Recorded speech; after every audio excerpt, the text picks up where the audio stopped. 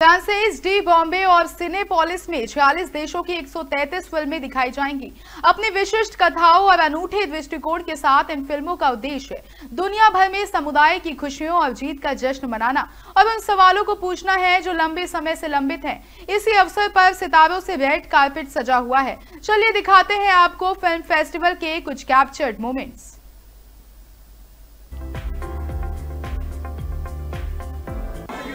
Kiran ma'am centre Kiran सामने Kiran ma'am. किरण ma'am यहाँ पे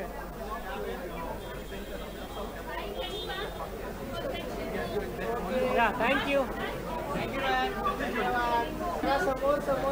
किरण मॅम समोर समोर सर समोर।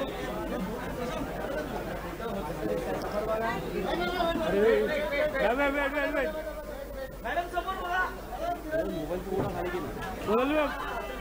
सोनल मैम समोर